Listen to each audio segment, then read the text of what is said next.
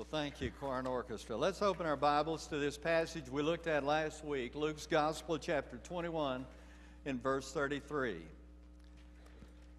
And I started the message last week. I don't even know if I'll get all the way through with this one today.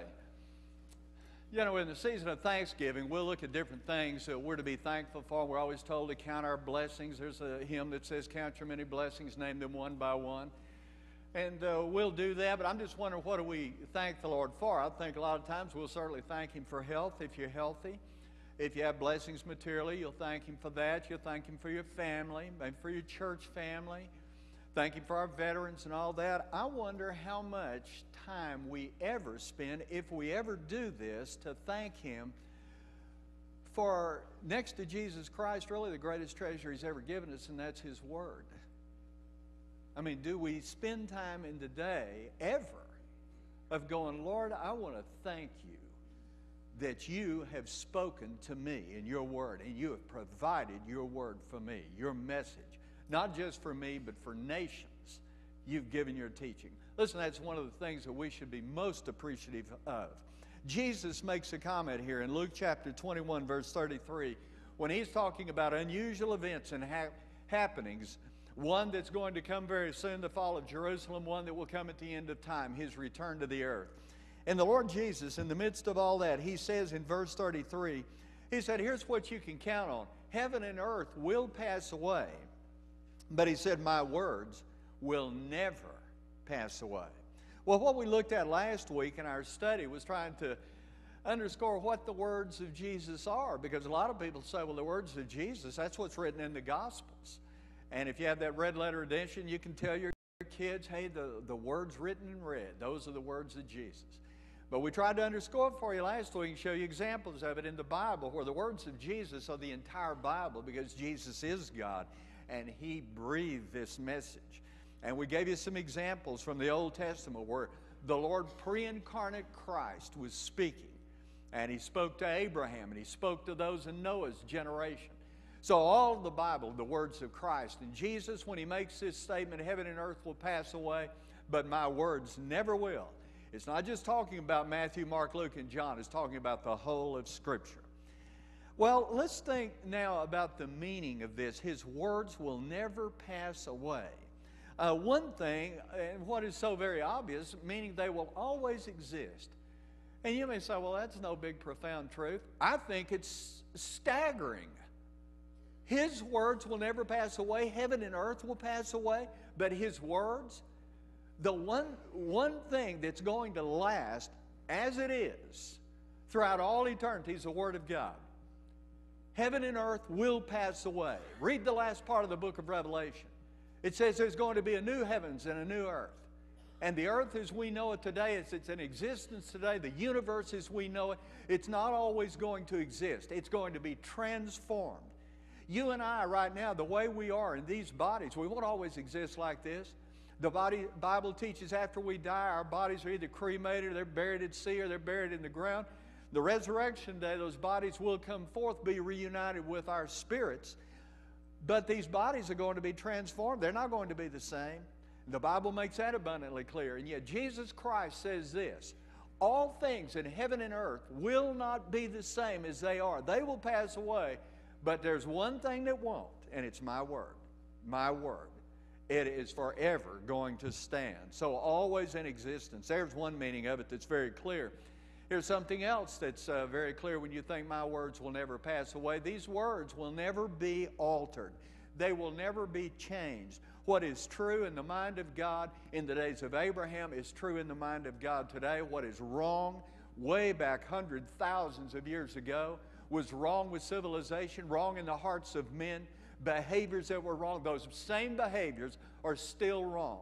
Now, in every generation, it seems like people want to get away from this, and especially in our time, because it's like people now, they've had new epiphanies, they have new insights. They have evolved to understand that things that used to be declared right, that they don't feel are right now. And things that used to be declared as wrong, well, they don't feel they're wrong now and they feel it's perfectly acceptable. And they, they think to themselves, well, listen, it's a different time, and the opinions of people have changed. And people are favoring certain behaviors now that maybe they didn't favor in the past. Well, let me tell you something. Behaviors that the Bible says are an abomination before the Lord, in every generation, those same behaviors have been exhibited, and by the people who were involved in that, they thought it was okay, just like in our times. But here's what you need to know God never changes, He never changes on this. What he says is true in his word about relationships, about how one should conduct themselves in life, just in the practical affairs of life of being just, true, honest, pure. Those things never change. And friend, you may have it all worked out in your mind where it's changed for you. And you think you're, you're legit and, and perfectly okay because you come to church. But I've changed in my thinking and I don't agree with everything the scripture says then you've got a major problem in your life. You have a major problem because in your changing, you've moved away from the one who never changes. You've moved away from him. When it says, Heaven and earth will pass away, my words will never pass away, they will never be altered. God's opinion will never be altered. Issues like salvation. I mean, people have thousand different ways now you can be saved. God says, hey, there's one way, one way that you can have forgiveness and have life that's everlasting. And that's through my Son, the Lord Jesus Christ. There is no other way. And I don't care who stands up and suggests that there is. God says there's no other way. Jesus said, I'm the way, the truth, and the life. No one, no one comes to the Father unless he comes by me. That never, never changes. Regardless of what culture, what, what country, what people's group you're speaking to, that never changes.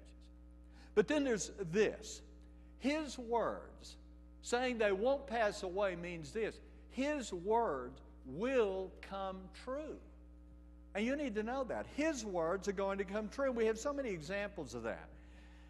Two things I'd mention on this. One, events that are spoken of in the Scripture, that are prophesied in the Scripture, they're going to come true. They will absolutely come true. And you can't get away from that. I mean, we already see examples of that in the Bible. And I'll mention these to you. In Jeremiah's day, Jeremiah the prophet told the people, he said, Because of your rebellion and your sin, you're going to go into captivity. He told them where they were going into captivity. God gave him the message. He said, The Babylonians will come and take you into this captivity. And he said this You're going to be there for 70 years. The best thing you can do once you get there is just do the best that you can, abide by their, their laws, and, and work in the best way that you possibly can. You'll be delivered after 70 years. Well, now there were religious leaders going around saying in that day, they were just repudiating what Jeremiah said. And the religious leaders were going, Oh, that's not true. There's peace. There's peace. We'll always have peace. It doesn't matter how we're living. It doesn't matter that we've forsaken God. Because they would suggest, even though the people, by their behavior and their actions, had shown that they'd forsaken the Lord, these religious leaders would suggest, oh no, God's on our side and there's peace. And I just remind you, in that day and in Isaiah's day, who prophesied to these people, well, they were prospering materially. Well, you can't feature that. We, we're not going into captivity. Are you kidding? And Jeremiah said, Here's a message from God. God's message says this Because of your rebellion and your sin, you've turned against me.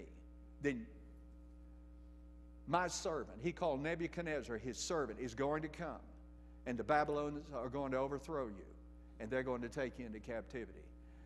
And let me tell you something that happened exactly as God said. They were not only taken into captivity in Babylon, they stayed there exactly 70 years, just like God said. And then they were delivered and came back to their home country, just like God said through his prophet in his word. That's amazing. I'll tell you, you see it right here in, this Gospel of Luke in chapter 21. Jesus is leaving the temple area with the disciples, and the disciples are so thrilled. And I wish I could describe the Herod's temple for you. It was just majestic. I, we can look at our buildings here, uh, look at the White House or the Capitol buildings, and there's a measure of beauty. Those things don't even compare to what Herod's temple looked like. I mean, it was just breathtakingly beautiful. And Jesus walks out, and these, these disciples, they're so thrilled with this. They said, Lord, look at this. Look at this. And look what Jesus says to them. The disciples were marking in verse 5 of Luke 21 about how the temple was adorned with beautiful stones and with gifts dedicated to God. And Jesus said this As for what you see here, the time will come when not one stone will be left upon another. Every one of them will be thrown down. And if you'd see that temple, you'd think, that can't happen. I mean, they didn't have airplanes in those days that could crash into buildings. They didn't have nuclear missiles and things like that that they could blow up this building with. These guys could have thought to themselves, now the disciples believed what he said, but when people hear that, they think that can't happen. Jesus said that in the early AD 30s. By AD 70, what he said came to pass. The Romans came in, under Titus' leadership and devastated Jerusalem. And this temple was, it was like it was unearthed, it was devastated, just like he said. All that prophecy came true. I'll tell you this the Lord says this in the Old Testament. He talks about the people of the Jewish people. He not only talked about the Babylonian captivity, but uh, there's references towards the end of time. And he said, before he comes back, before the Messiah comes back, he said, My people who have been dispersed, the Jewish people who have been dispersed throughout the nations, they're going to be brought back to their homeland. Now, for years, from the fall of Jerusalem, what we've read of here in Luke 21 until 1948, that's exactly what it, the Jews were dispersed all over this world. And then in 1948, bit by bit, they've been going back. In 1948, they're back in their own country. And it is a miracle of God that that could happen. Surrounded by people who hate them, who want them annihilated, and yet there they sit. Just like God said. Now listen what he says in his word, what he prophesies. And when I see all those things there, then I'm, I'm a bit uh, baffled by some people, not so much by lost people, but by people who attend church. And when you talk to them about the judgment at the end of time that he prophesies about, and you talk about the return of Christ, which he speaks of, they don't buy into that. And they think, hey, come on. I mean, Christ has been gone for 2,000 years. He, he died on the cross 2,000 years ago and ascended out of heaven. And oh, 2,000 years, all this time has come and gone. Where is he? I mean, people get into this notion that life's just a cycle. It'll just keep going on and on and on. No matter how we live, no matter what we do, it's just a cycle. You're born. If you're fortunate enough to get to grow up, you work, then you live long enough, you get to retire a while, then you die. And it's just a cycle. And it's always going to be that way. The Bible says, no, it is not. And there's some people that live their lives in such a way and they think they're never going to have to give account. They're not going to have to, have to face any kind of judgment. Do you know the Bible speaks about a Christian judgment? The Bible speaks about the great white throne judgment, the judgment of the lost. And I don't even know that Christians buy into the teaching about the Christian judgment. But the Lord says it's, it's true. Look over here in 1 Corinthians. 1 Corinthians chapter 3 about the Christian judgment.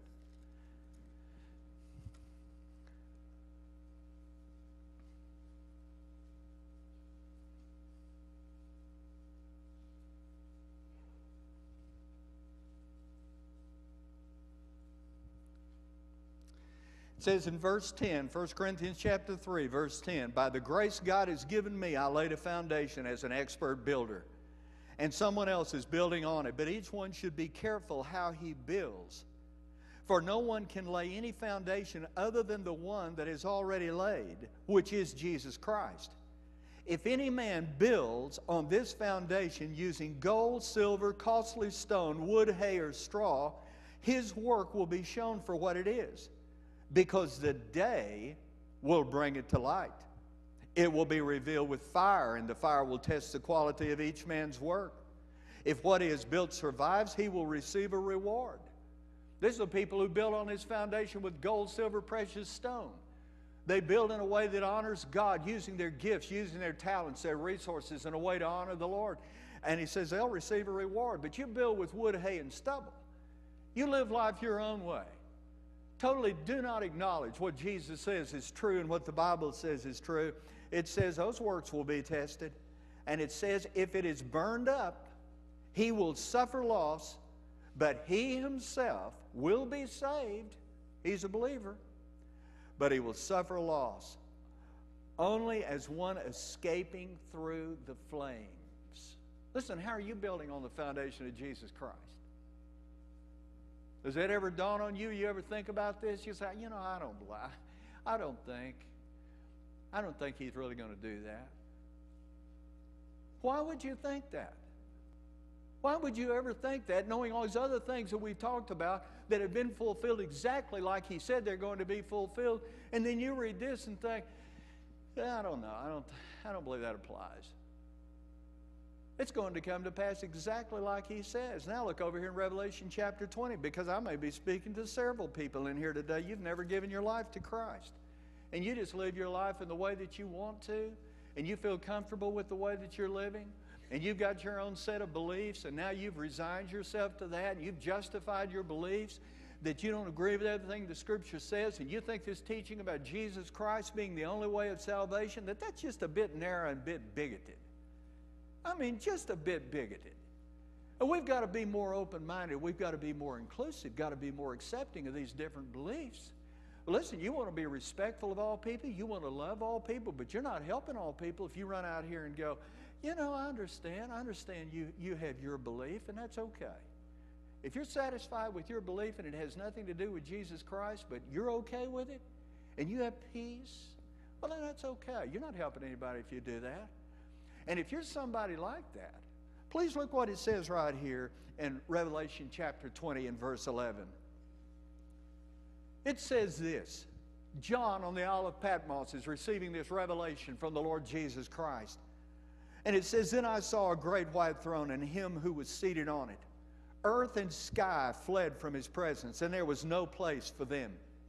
And I saw the dead, great and small, standing before the throne. And the books were opened. And another book was opened, which is the book of life. The dead were judged according to what they had done, as recorded in the books. And the sea gave up the dead that were in it. Bodies are buried at sea. Well, those bodies are going to be reclaimed and death. Death is the grave. That's bodies are there. They're going to be reclaimed. Hades is where the spirit of the lost person goes when they die. And it says that spirit is going to be released, and those bodies are going to be reunited with the spirit, but it's going to be different. Their bodies are different from the believer's body. And it says this if you look at it the sea, death, Hades gave up the dead that were in them, and each person was judged according to what he had done. Do you know that Jesus Christ said this? Every idle word that men shall speak, they'll give account of it in the day of judgment. They'll give account. He's speaking to lost people there. Every idle word, they're going to give account. And then it says, Death and Hades were thrown into the lake of fire. The lake of fire, that's the eternal hell. This is the second death. And if anyone's name was not found written in the book of life, he was thrown into the lake of fire.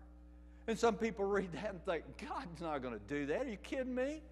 God loves us all. God wouldn't dare do that. Well, God didn't prepare hell, the eternal hell, for human beings. The Bible says it's prepared for the devil and his angels. But when people sin and stay in their sin and never come to the place where they receive Jesus Christ, where they can have forgiveness, then that hell that is prepared for the devil and his angels, that is exactly where they're going. You think, you enjoy preaching this? I hate preaching this.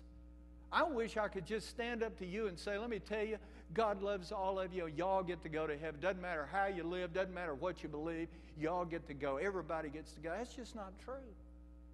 And yet people will hear that and just think, oh, I don't believe that. Again, I'd ask, what would give you any basis for rejecting that based on all the things that you can see in the Bible and in history that shows what he prophesied in the past has come to fulfillment? What makes you think this won't? Look over here in 2 Peter chapter 3. I mean, this is a good description of people in our day. It says this, 2 Peter chapter 3.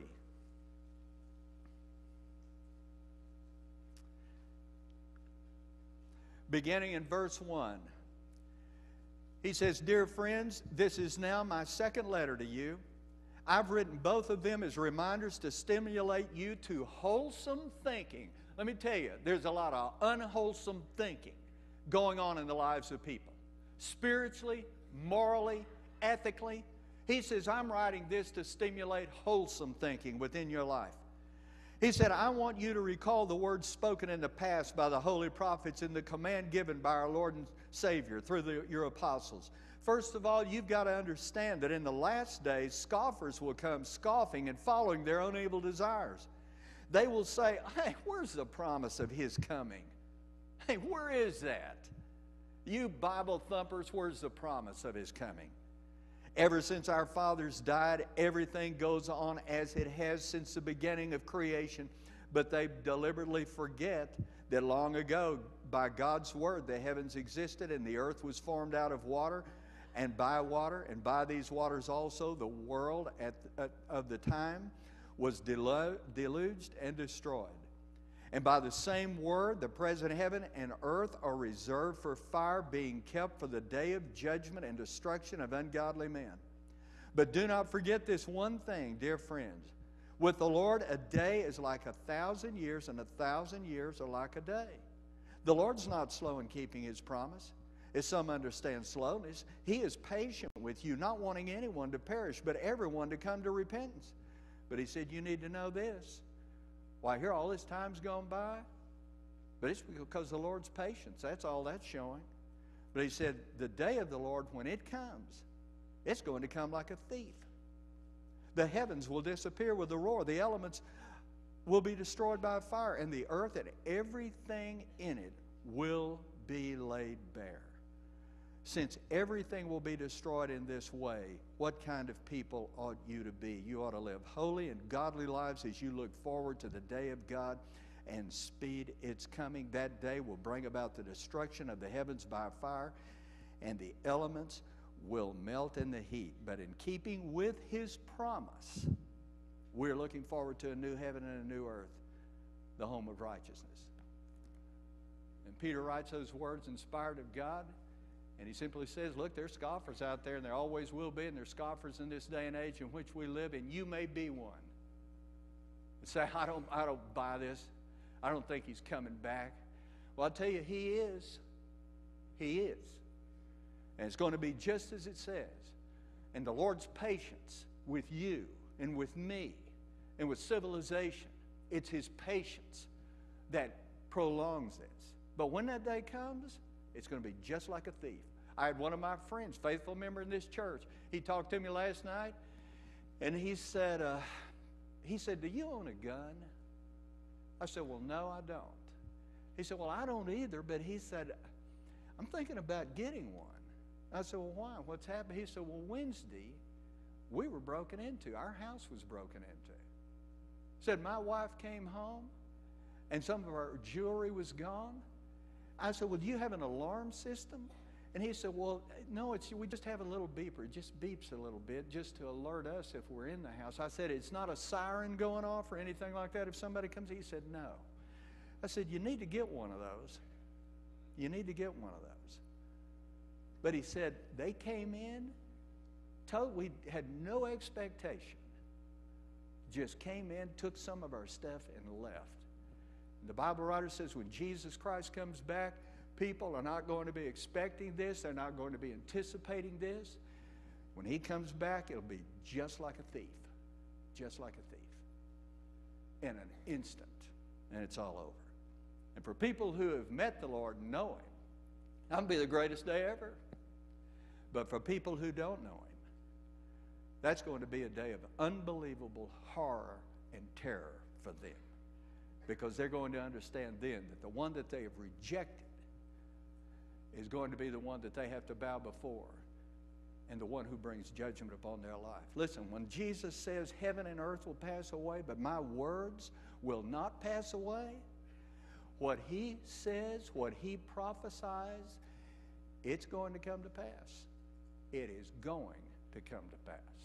Now, one last thing, and I'll just preach my message next week on this. There's one other thing you need to know. When it says what he says will, will be true, principles of living and consequences of choices, lifetime choices, in regard to those principles, that's going to come true also.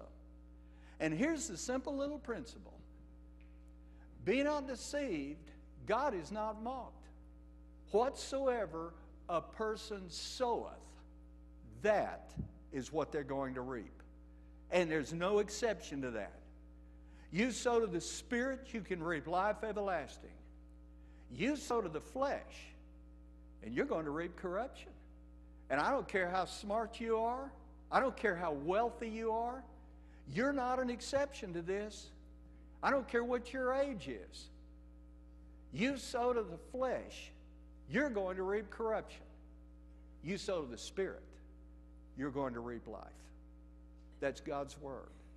And it plays out every single day in the lives of people, individuals, families. I'll tell you what, it plays out in the life of a nation too. Let's bow our heads in prayer. Father, I just pray for us. Thank you for your word. Help us in this Thanksgiving season. When we're thanking you for blessings, help us never to overlook this one. What a great treasure. We have a message from you. I think of these veterans, I think of people who serve overseas right now, when they get a letter from home or any correspondence from home, how it just thrills them to hear from their, their wife or their husband or their kids or their parents, and, and rightly so. But Father, help us to know in this book, the Bible, we have a personal message from you to us. Father, help us to view it as such and help us to take to heart exactly what you say. Father, I pray for anyone in this room who's never received you, Lord Jesus, as their Savior. I pray that you'd work in their hearts and draw them to make this commitment. Just wake them up spiritually. Help them to know, Jesus, they need you. Father, I pray for believers in this room that maybe they've gotten to a place in their life where they have discounted what you say in your word. Or, Father, maybe they've gotten to a place where they just think that they can live life however they want to live it, and nobody can do anything about that. And, Father, help them to know that's not true. Help them to understand if they're sowing to fleshly things, whatever that might be, that, Lord Jesus, they're going to reap corruption. That's what you teach. Help us to know, though. And I pray for believers out here that maybe they're living their life for you and they have a heart for you, and yet things are unraveling in their world. Help them to know if they're sow to the Spirit. No matter what's going on, you're going to bless them and help them. Just give them that peace and, and that encouragement. The Lord Jesus, I ask this all in your name. While our heads are still bowed and our eyes are closed, we're going to be dismissed in just a moment.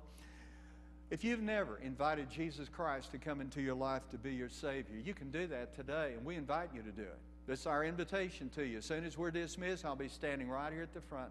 I'd love to talk with you, and we have others that will come down here. They, they'll talk with you also. But we can share with you how you can receive the Lord Jesus, how you can make Him the Savior of your life. He wants to be. But you've got to come to Him. So we hope that you do that. You might be a person, you say, Well, I just have a lot of questions about this. That's wonderful. We'd love to visit with you and talk with you. It could be that you're a believer, you're looking for a church home, you feel like this is where you'd like to place your life. If that's true, we hope you come and express that. We'll tell you how you can be a part here. We'd love to have you. Or please listen to this. You might be a believer and you know, you know, maybe nobody else knows, but you know that you've wandered so far from God. You have gotten so far from Him and you're just tired of that. Or maybe God's just spoken to you in this last little thought and alerted you to the fact you don't get away with that.